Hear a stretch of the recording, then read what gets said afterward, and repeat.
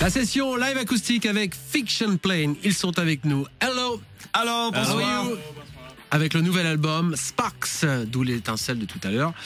Alors content de vous retrouver. Les trois du groupe sont là. Il y a Joe, Joe Sumner. Bonsoir. Hello. Paul, le batteur.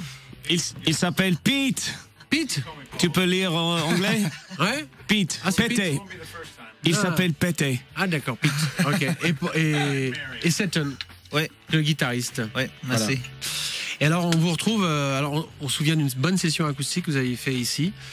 Euh, vous vous vous rappelez, vous vous souvenez dans la session acoustique? Euh, Vous aviez repris euh, Big Button, la fameuse chanson de Ouais, Spinal Tape. Les chansons très connues, c'est tr- de la balle. Hein. Voilà, exactement. Viens, tape.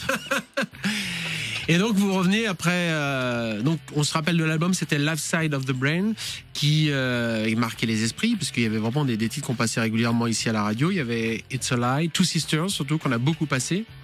Alors à quel moment vous avez commencé l'enregistrement de, de ce nouvel album?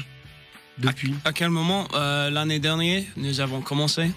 Et euh, après trois mois dans le, dans le studio, nous avons décidé que c'était pas euh, fini.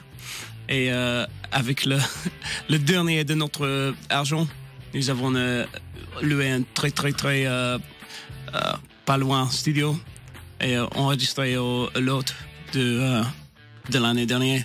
Et c'est fini. Nous, nous l'avons fini au mars. D'accord. Ouais.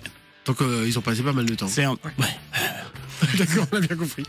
Alors, alors en tout cas, euh, Joe parle français, c'est super. Mais nous avons Pierre-Edouard qui a la traduction s'il y a une moindre difficulté pour, euh, voilà, pour euh, trouver les mots.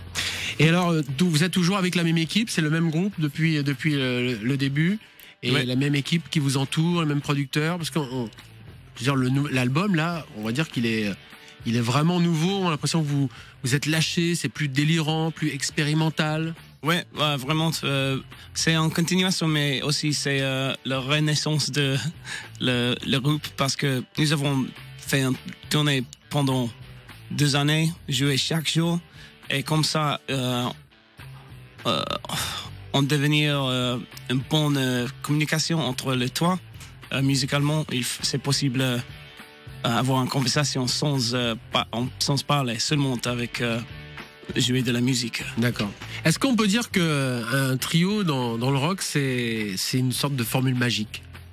Ah, peut-être, mais il y a aussi des les belles groupes avec euh, quatre personnes, Mm. Ouais, peut-être un. Ouais, mais trois, c'est quand même. il y a- Ouais. il y a Mais plus de. Toi, c'est plus facile pour avoir un peu de démocratie parce que euh, deux battus, euh, deux, euh, deux battus, un. Chaque fois, c'est comme ça. La Fiction Plaine est avec nous pour la session live acoustique. Vous êtes prêts? Are you ready? We are prêt. New song. Ah, cet morceau, il s'appelle Push Me Around. Voilà. Attention, les micros, on les change un petit peu. Et c'est parti. D'accord. 1, 2, 1, 2, 3, 4.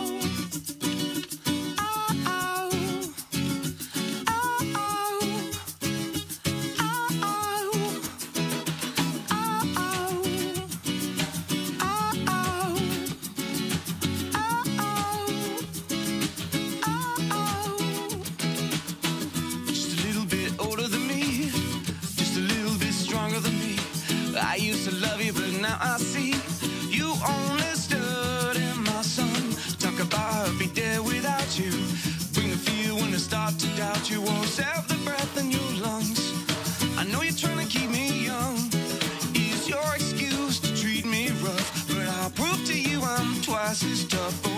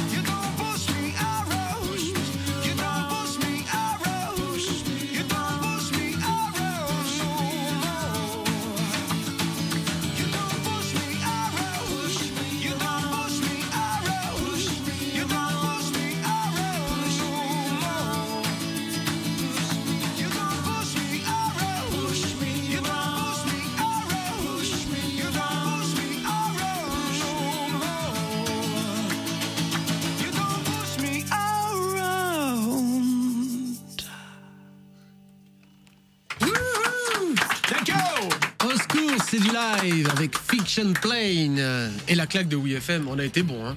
Ah, c'est bon la claque. Hein? Bien frappé tes mains. Ouais, C'était très, de la balle. Très très bon.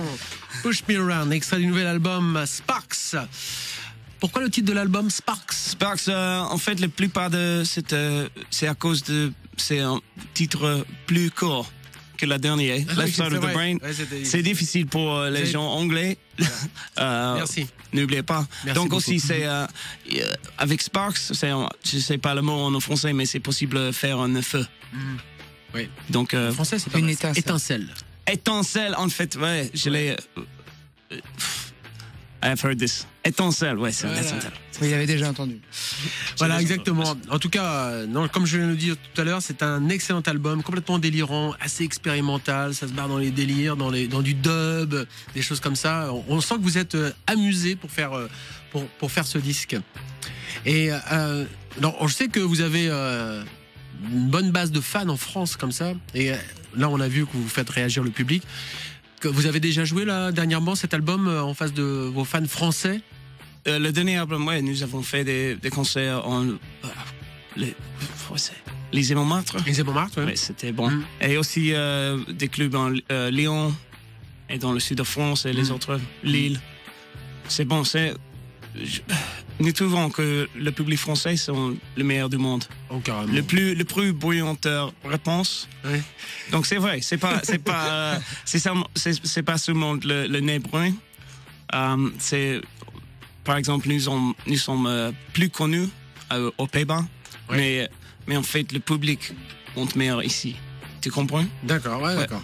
Bah, et surtout qu'ici, vous avez quand même, euh, vous avez quand même joué au Stade de France, hein, devant un maximum de gens. Ouais, Donc là, maximum. Et voilà. c'est comme ça aussi, euh, c'était le, le meilleur de cette tournée euh, dans les, les, les grands, grands salles. Ouais. Parce que d'habitude, c'est euh,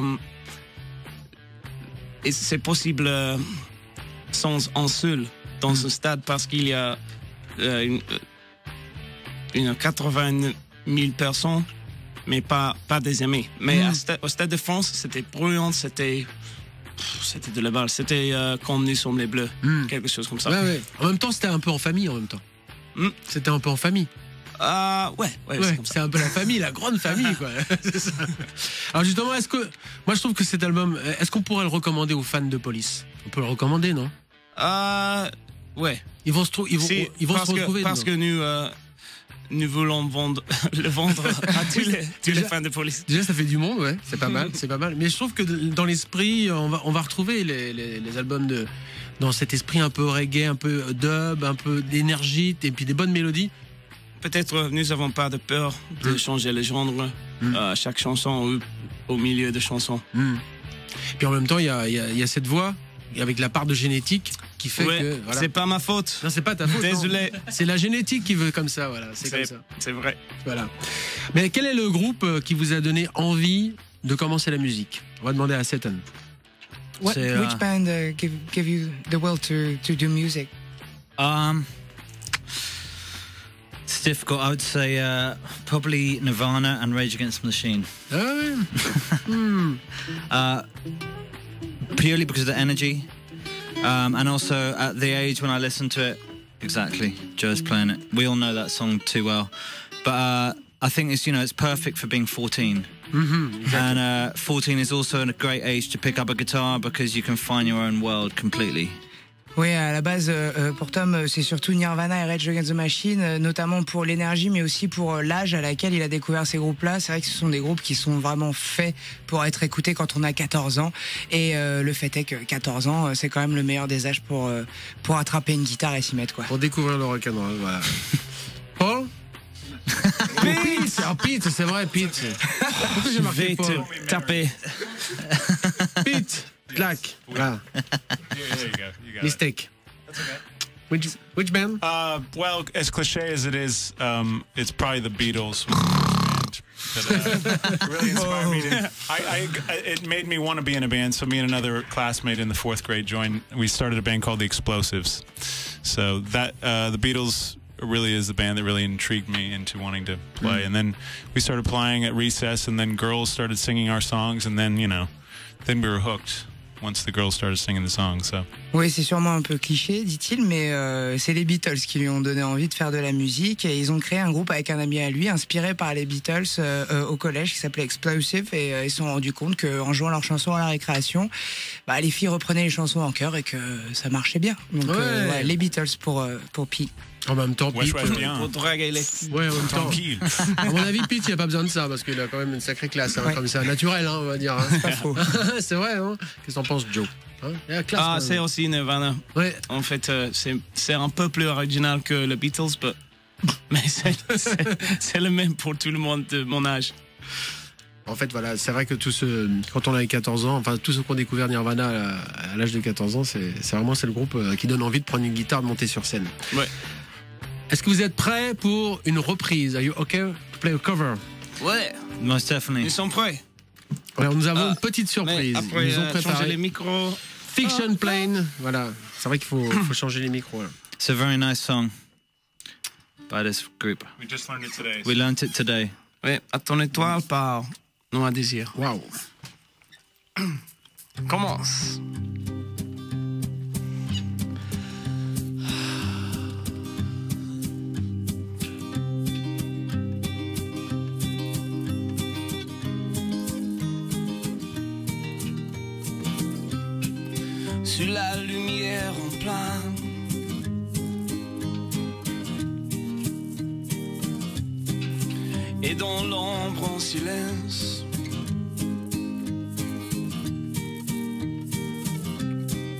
Si tu cherches un abri inaccessible, dis-toi qu'il n'est pas loin et qu'on y brille à ton étoile.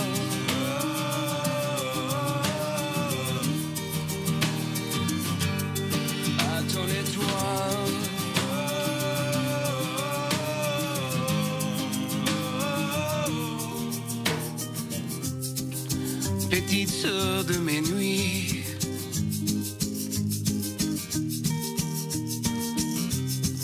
Ça m'a manqué tout ça.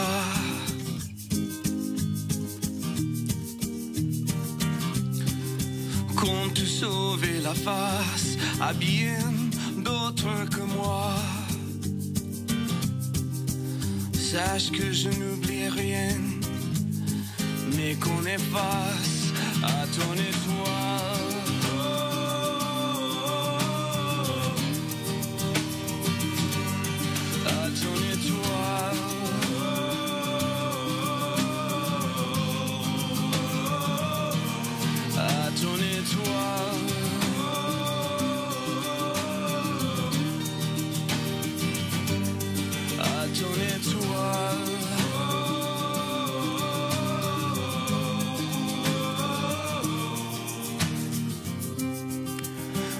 À l'horizon.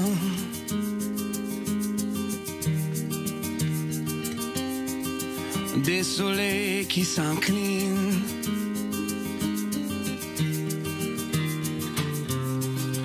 Comme on n'a pas le choix, il nous reste le cœur. Tu peux cracher mes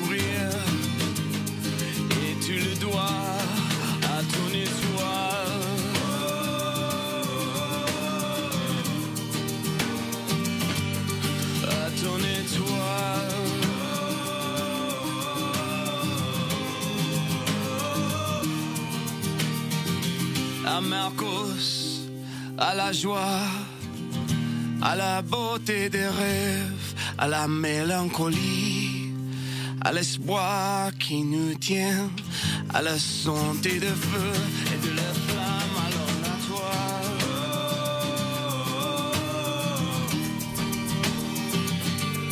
À ton.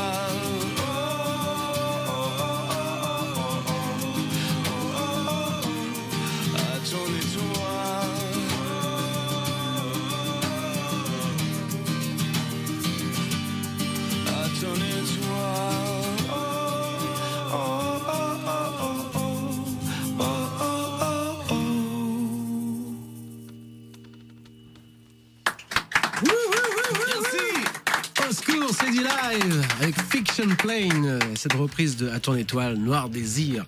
Bravo. Merci avec seulement un erreur Ouais, français. très très fort. Comment vous avez découvert cette chanson?